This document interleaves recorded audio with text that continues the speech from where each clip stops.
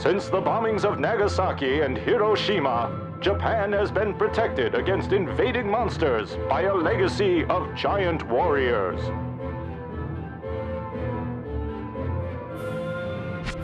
Today, there remains only one.